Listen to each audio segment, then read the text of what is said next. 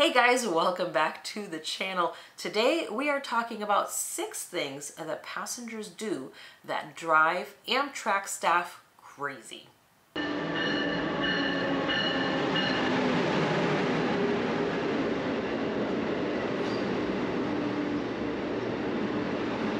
We have personally seen all of these things we're going to mention happening, and we've actually talked to the staff about it afterwards and they're like, yeah, that does drive us crazy. So hopefully these aren't things you're going to do. You may be kind of surprised. Maybe you've seen some things that drive staff crazy too, and you can add those in the comments for us too.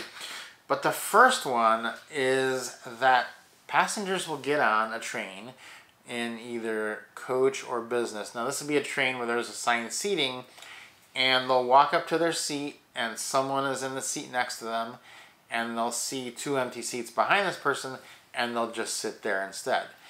And thinking there's empty seats, the train's not full, I will, I want to have my own row to myself. Well, that's all fine until the next station when the people get on that and there's two people and they're in, there's, they see that someone's in their seat.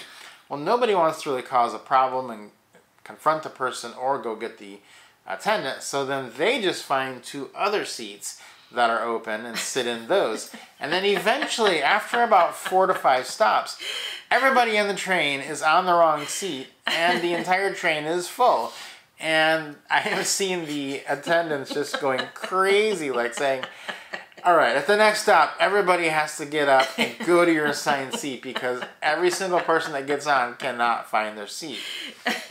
And it, was a it was a big huge mess. He was just like, "All right, that's it. This car is a mess. You guys have to get in your assigned seat." We kept watching people like getting on like one person will get off, another one will get on.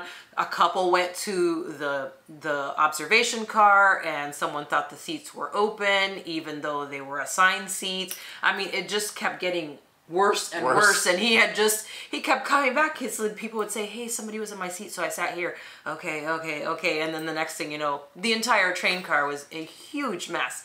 So when we did stop, he it was like a big shuffle in the train car to straighten the whole mess out. Yeah, so don't don't be that person that thinks it's just one seat. It's going to set off a snowball of effect that is going to cause the whole train to go into chaos.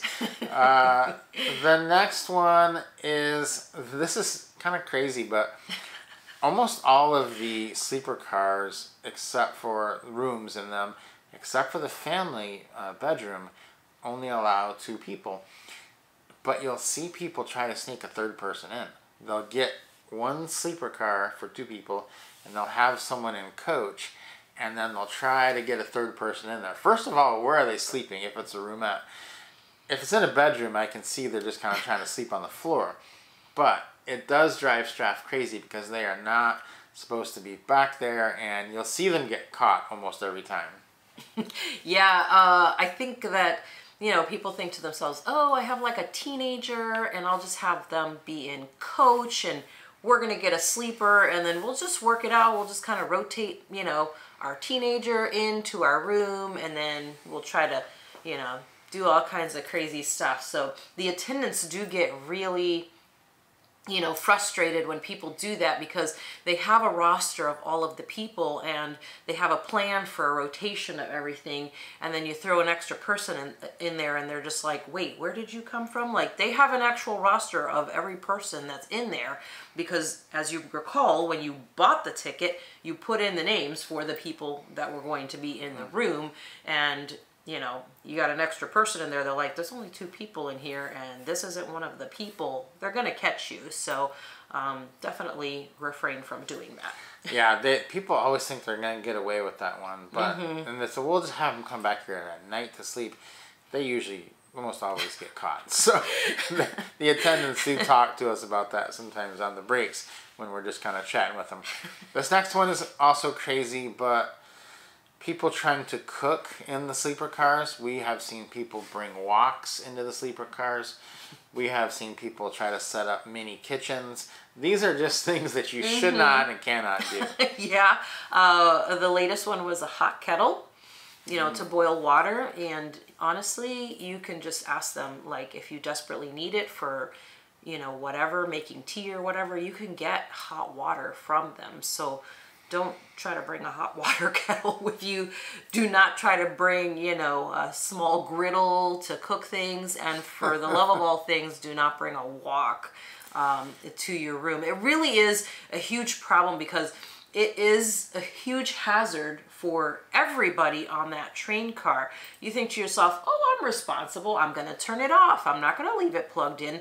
I mean, I get nervous even using like my hair dryer or something I'm like, let me make sure it's, you know, cooled off before I set it down anywhere. I try to hold it up and make sure that it's nice and cool before I put it back in my bag. Imagine if you're trying to cook something, you bring a wok or whatever in there and it's gonna be hot for a long time. Something falls onto it, you know, the train is moving all the time. It's not like it's a smooth ride either. So mm -hmm. definitely something that's not just annoying, also because of there's going to be smells then in the entire you know train car but aside from it being annoying it is a safety hazard a very big one. Okay this next one we've seen up close and it kind of is like sneaking a third person into the room but this one is rotating people into the dining car. So what they will do in this instance is there'll be two people in the sleeper car they'll have the teenager and coach and so because they've been putting people to sitting at tables together in the last few years. We would be eating dinner with a couple from uh, another sleeper car, and that was all great and fine. And we just kind of noticed that they weren't eating their whole meal though. They were each eating about two thirds of their meal, and then they kind of like saved the rest of the meal. And we were like, well, that was kind of strange. Why did they kind of save the rest of that meal? And turns out they were taking the rest of that meal back to coach to give to their daughter, which, you know, whatever, that's fine, I guess. But then the next day for dinner, it was, we showed up and it was the, the mom and the daughter were sitting with us. And then the dad was back in coach. And again, they only ate two thirds of the meal and then they took the meal back to the dad. And so they were kind of rotating three people through the dining car and the sleeper car and like ferrying food back to coach, which they didn't really appreciate that very much. They don't. It's not, you know, like a hard and fast rule, but it's just really un unsavory thing to do to, you know, try to slide that that third passenger in and then pay a lot less because then that's the type of thing that causes prices to go up. So it was interesting, and I just thought it's kind of crazy because you're paying, you know, six, seven, eight hundred dollars for the roomette, and it's literally like four or five dollars for a meal from the cafe. So it didn't seem like that big a deal, but you know, uh, just something probably to think of not uh, doing. The next one that drives staff crazy is any late night problems. So if you think about this, the staff, they are going to sleep very late, and then they're the first ones up. So when we're riding overnight on Amtrak after a couple nights, I'm thinking to myself, I didn't get enough sleep. I, I want to you know sleep a little longer. Well, they're getting even less sleep. So when you cause a problem or someone causes a problem at 1 in the morning, 2 in the morning, 3 in the morning, they have to get up to take care of that problem. Or if you, you know, buzz them in the middle of the night for something that really was unnecessary, they have to get up to take care of that, and they're only probably getting five to six hours of sleep anyway. And so that really does cause a problem if it's an unnecessary thing. Now, if it's an emergency, that's a completely different situation. But when you're causing kind of unnecessary problems in the middle of the night, that does drive them crazy. Yeah, I think sometimes people mistake the button in their sleeper car that says, you know, call attendant with a butler service, and it's not. Yeah. they are not at your beck and call. Uh, they're there to help you through the process. They're there to help you with the things that you need help with. But when you're just, you know, being silly or whatever in the middle of the night, you're, you know, actually causing problems for the staff people. So try to refrain from pushing that button if you don't actually need it. Yeah. Uh, the next one that drives them crazy and everyone crazy is people leaving a huge mess. And we've seen this. We saw the family bedroom just torn to pieces one time when we got off. And and it was pretty bad because if you're in the roomette right next to the family bedroom, you can hear everything going on in there. We could hear everything going on in there. We were not surprised when we looked in after they got off that, that it was just an absolute mess uh, based on the kinds of things that were going on in there that we could hear. But then the attendant has to come through and clean that up because there is no cleaning crew mid trip. They will clean the train after the trip, but during the trip, all the mess that is made has to be cleaned up by the attendant that is assigned to that car. Yeah, and I think that people think to themselves, oh, the attendant doesn't have that much to do. He can just, you know, clean this up or whatever. But the attendant actually has a ton of stuff to do. You are going to see your attendant zipping up and down the hallways You'll probably usually hear them because you hear the jingling of their keys mm-hmm. as they're zooming up and down the hallway. But they're taking care of people, switching things out, preparing things for the next, because people switch out, you know, from the sleepers throughout the whole trip. And, you know, this particular instance was crazy because not only did they make an enormous mess, the attendant was actually kind enough to let them get away with having an extra person in there because it was a kid and then he's like, you know, I did a nice thing for them by letting them have an extra person in here, and this is how they repaid me. And, you know, we felt so bad for our attendant because he was absolutely amazing the entire ride. And this was actually a challenging ride because it was running behind by quite a bit, like six hours or something like that.